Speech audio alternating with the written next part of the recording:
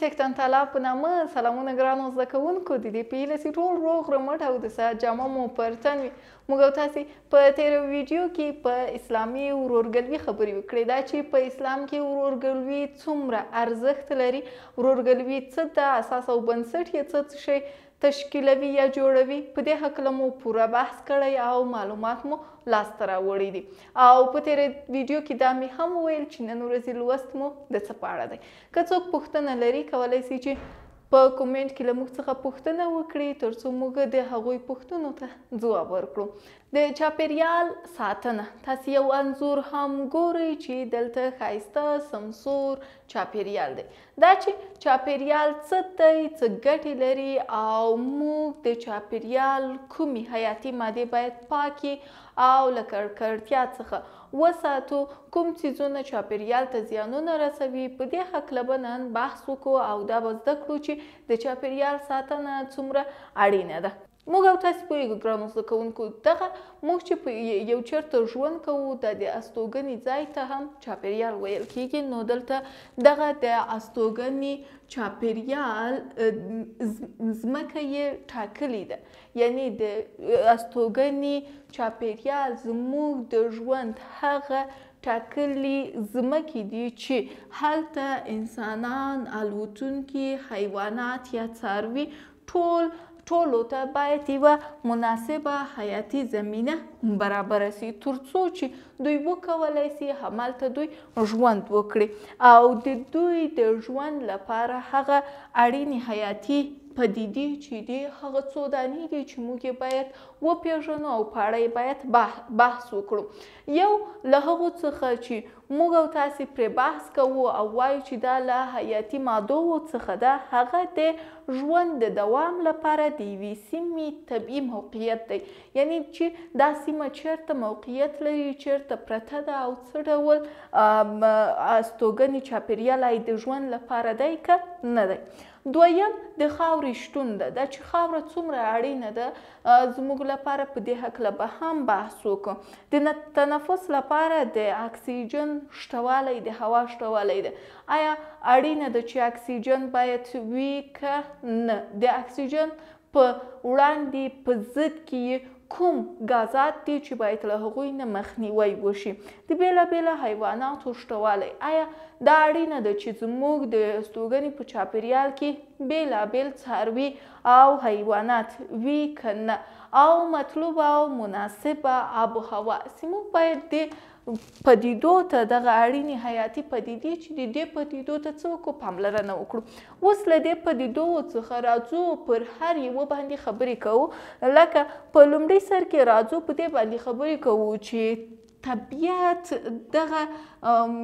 طبیعت سی ده دا یوه داسې پدیده ده چې د ژوند د ودې او پراختیا لپاره عمل کوي څه کوي د ژوند د ودې او پراختیا لپاره عمل کوي دغه انسان چې اشرف المخلوقات ګڼل شوی ده د د د حیاتي سیستم محور لپاره باید له طبیعت څخه ګټه واخلي او ددې ګټې اخیستنې څخه دا څرنګوالی یې معلومیږي سي دغه طبیعت زموږ او د تاسې په ژوندانه کې یا هم د ژوند په د استوګنې په ځای کې اساسي ونډه او رول لري د استوګنې چاپیریال چې دی د انسانانو د اوسېدلو روزنې ځای دی او دغه چاپیریال موږ لکه مور غوندې په خپله غېږه کې روزي، وده راکوي او زموږ په روزلو او وده ورکولو کې ستره ونډه لري. له همدې وجې نه موږ وایو چې موږ او تاسې باید د زېږېدو ځای او یا هم دغه د استوګنې چاپېریال ته باید څه وکړو؟ دا د دې لپاره درناوی کول له اخلاقي او انساني وجایبو څخه ده چې موږ او تاسې باید خپل د زیږیدو ځای ته، خپل د زیږیدو ټاټوبي ته او د استوګنې چاپیریال ته څه وکړو؟ درناوی وکړو چې دا هم انساني او هم اخلاقي وجیبه ده. ټول هغه کسان چې هیوادپال خلک دي، دغه هیوادپال افغانان باید د چاپیریال د ساتنې لپاره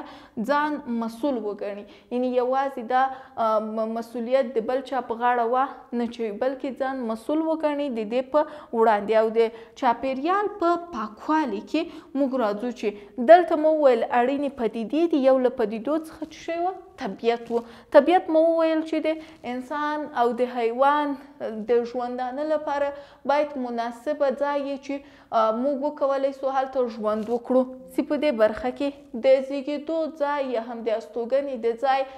درناوی کول له اخلاقی او انسانی وجیبوو څخه ده نو دلته د چاپیریال پاکوالی دری اصله لری څه لری دری اصله لری لومړنی اصل یی د ککړتیا پری نږدو چی دغه آب و هوا ککړه شی یعنی ککړتیا د دې باعث نه شي چې راسي او هوا ککړه کړي. موږ باید هوا پاکه وساتو. بله خبره یا بل اصل چې د چاپېریال د پاکوالي دی، هغه د څه شي دی؟ د جاري اوبو پاکوالی. یعنې دغه اوبه چې جاري دي، سیند ده، ویاله ده، څاه ده، دغه اوبه باید پاکې او صفا وي او دریم اصل یې د خاورې پاک ساتل یعنې د همغه استوګنځي یا هم د همغه د استوګنې ځای باید پاک وي تر څو دغه ککړتیا مضره یا زیانمن عناصرو څخه لرې شي. موږ او تاسې پوهېږو چې د همدې ژوند د دوام لپاره، د ژوند د دوام او د ادامې لپاره موږ تنفس او پایښت ته چه لرو اړتیا لرو. دا چه موږ تنفس وکړو او دا چه موږ خپل ژوند ته دوام ورکړو ددې لپاره اړین توک یا اړین ګاز کوم ګاز دی؟ اکسیجن، موږ د اکسیجن ګاز لرو او پاکه فضا ته اړتیا لرو چې موږ خپل ژوند ته دوام ورکړو او دغه د ځمکې هوا له بېلابېلو دودونو څخه وساتو د مثال په ډول د سون هغه څه چې د سون لپاره کارول کېږي مثلا بېلابېل څیزونه دي مثلا لرګي دي زغال دي ټایرونه یا ټوپونه دي پلاستیک د کاغذونه دي کالی دي دغه د دې باعث کېږي چې هوا ککړه سي او ځمکه کې دود راشي او موږ باید د مضره غازونو څخه هم ډډه وکړو د دې لپاره چې دغه مضره غازونه که په ځمکه کې زیات شي بیا هغه ځمکه له منځه وړي او ځمکه مسمومه کوي.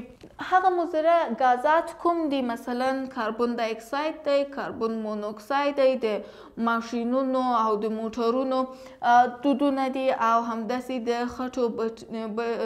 بټۍ دي چې دا د ناروغیو باعث یا د ناروغیو لامل ګرځي دا چې موږ که په یوې سیمه کې ډېر زیات دود تولید شي او د هغې مخنیوی ونه کړو بیا هغه سیمه په هوا یې ککړیږي او د همغې هوا له امله موږ په بېلابېلو ناروغیو باندې اخته کیږو. په همدې ترتیب سره وروسته له ګاز نه یا وروسته له اکسیجن نه چې د موږ د ژوند پایښت ته ډېر زیات اړینده او مهمه پدیده ده، دریمه پدیده چې ده هغه اوبه دي. موږ او تاسې دغه اوبو نه باید میکروبیک او دغه اوبه باید ښې وساتو، صحي وساتو. ځکه که دغه اوبه ککړې شي یا میکروبي شي یو خو د ناروغیو باعث ګرځي او موږ باید له دې نه مخنیوی وکړو او بل دا چې دغه جاري اوبه سي دي او یا هم د ځمکې لاندې اوبه سي دي ویالې دي سیندونه دي د دغه اوبه نه باید په هیڅ ډول سره هم ککړې کړو ځکه د اوبو په ککړیدو سره ډیر زیانونه موږ ته اوښتلی سي یو خو د ناروغیو رامنځته کیدل ده بل د اوبو په واسطه انسان او حیوان ته روغتیايي زیانونه رسېږي چې هماغه ناروغۍ ده. بله خبره دا چې ناروغۍ د اوبو په واسطه ډېرې زر خپرېږي یعنې په چټکۍ سره دغه خپرېدل کوي دغه اوبه که زه دغه د ویالې په سر کې مثلا یو غاز واچوم یا یو دغه دی ویالې په سر کې مثلا دغه اوبه چټلې کړم نو دی ویالې تر پایه پورې به دا چټلې دغه اوبه نو له همدې سبب نه موږ او تاسو باید هڅه وکړو چې دا کار ونه شي او بل د کرنې تولیدات دي چې دغه کرنې تولیدات که اوبه ککړې وي نو د کرنې تولیدات بیا چې شي کېږي هغه ځمکه چې موږ پکې کرنه کوو هغه زیانمنه کیږي او یا هم د اوبو ژوي هغه څاروي او حیوانات چې په اوبو کې ژوند کوي دي که دغه اوبه مسمومې سي او نو دغه هم د اوبو ژوي او هم د کرني ځمکې زیانمنې کیږي او اغیزمنې کیږي له دې نو له دې سببه موږ باید اوبو ته ډیره زیاته پاملرنه وکړو بله حیاتي ماده چې ده هغه څه ده خاوره؟ خاوره یوه اړینه حیاتي ماده ده چې د انسان لپاره، حیوان لپاره، هغه که اهلي حیوانات یا وحشي حیوانات یعنې هغه حیوانات چې له موږ سره په کورونو، کلو کې ژوند کوي او هغه حیوانات چې په ځنګلونو، دښتو کې ژوند کوي د دې ټولو له ژوندانه سره یوه مستقیمه اړیکه لري. څه ډول مستقیمه اړیکه لري او بل دغه ځمکه چی حاصل ورکوونکي خاوره ولري که موږ دغه ځمکه چی حاصل ورکوونکي وي یعنی د کرنې لپاره اماده وي نو موږ باید د دغه عضوي مواد چی دی د دې له تولید څخه باید چی وکړو ډډه وکړو. دغه خاوره موږ وویل که د کرنې لپاره وي نو دغه د کرنې په خاوره کې باید عضوي مواد زیات وي هر څومره عضوي مواد چې پکې زیات وي دلته د تولید لپاره یو مناسب چاپیریال رامنځته کوي او که چیرته دغه خاوره زموږ تیزابي شي نو بیا دغه نه تولید ورکوي نه د کرنې لپاره ښه وي او نه هم د ژوندانه لپاره نو هغه خاوره چی یا هغه ځمکه چی د سیلابونو په مخ کی وی یعنی که سیلاب راسی او دغه ځمکه یی مخ ته وی دغه سیلاب کولای سی سی دغه کرنی د کرنی ځمکه له منځه یوسی نو موږ باید له سیلابونو څخه د دی ډول ځمکو د خرابولو نه ډډه وکړو او مخنیوی وکړو تر څو زموږ کرنیزی ځمکی خرابی نشی او زموږ کرنی او مالداری ته تاوان ونه رسیږي. دا هر څه چې موږ وویل، سره له دې چې د چاپېریال ساتنې خبره ده، یعنې موږ په چاپېریال کې باید ځینو پدیدو ته ښه پاملرنه وکړو، تر څو دغه برخې په منظم شکل سره، منظم ډول سره پر مخ یوسو، خو ځینې پدیدې داسې هم دي چې بل اړخ هم لري، یعنې چې زموږ او تاسې مضمون هیواد پالنه ده نو دلته د هیواد پالنې سره سره موږ باید د اوبو، خاورې او هوا په ارزښت باندې پوه سو، د دې ارزښت درک کړو او د دې ساتنه د دې هوا د نه ککړیدو مسولیت، د خاورې د نه تیزابه کیدو مسولیت، د هوا د نه ککړتیا مسولیت، خپل مسولیت وګڼو او دې ته درناوی ولرو، چاپېریال ته د چاپېریال هغه ژوي یا هغه کسان چې په دې چاپېریال کې ژوند کوي، هغه که نباتات دي، څاروي دي، انسانان دي، ټولو ته باید درناوی ولرو او په ارزښت یې پوه سو او داسې کار و نه کړو چې د چاپېریال د مسمومېدو باعث وګرځي او و نه شو کولای چې هغه ژوند سي موږ وغواړو چې یو انسان ته یې ور وبښو، یو حیوان ته د هغه د ژوند لپاره موږ ګټور تمام سو، هغسي ونه اوسو بلکې د هغوی په زیان تمام سي. نو په ټوله کي راځو او وایو چي نن موږ د چاپېریال ساتني په هکله درس ولوستل، په دې چاپېریال ساتنه کي ځیني مهمي پدیدې وې چې له همغه پدیدو څخه لومړنۍ برخه همغه د انسانانو د استوګنې چاپیریال و لومړی موږ په دې موضوع باندې خبرې وکړې وروسته له دې نه راغلو په دې باندې مو خبرې وکړې چې دغه چاپیریال نه وروسته د استوګنې نه وروسته موږ څه شی لرو اکسیجن یا هوا لرو چې باید ډېره زیاته ورته پاملرنه وکړو وروسته له اکسیجن نه دریمه حیاتي ماده اوبه دي چې موږ باید ورته پام وکړو وروسته له اوبو نه خاوره ده او دغه خاورې سره زموږ او تاسې لوست هم پای ته ورسي نو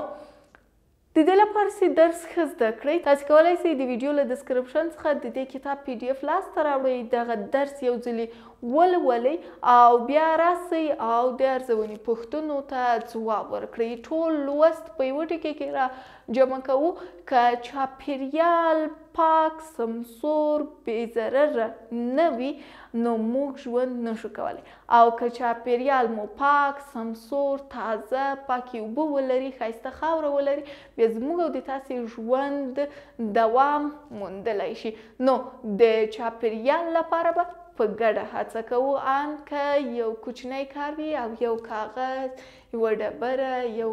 یوه خځله له لارې نه ایسته کول او په مناسب ځای کې اچول وي. نو دا و زموږ او د تاسې لوست. د لوست د ښې زده کړې لپاره باید تاسې څه وکړئ؟ یو ځلې بیا هم درس تکرار کړئ، تر څو چې زه راځم تاسې ته اخرنی لوست د